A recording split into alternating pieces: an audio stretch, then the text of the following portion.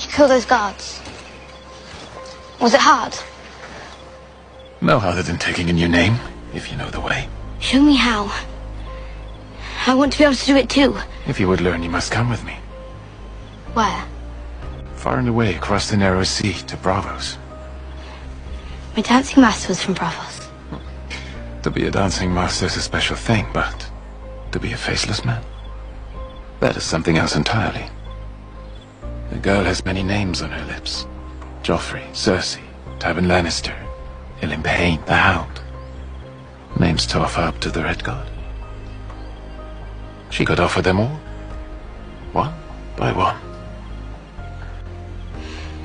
I want to. But I can't. I need to find my brother and mother.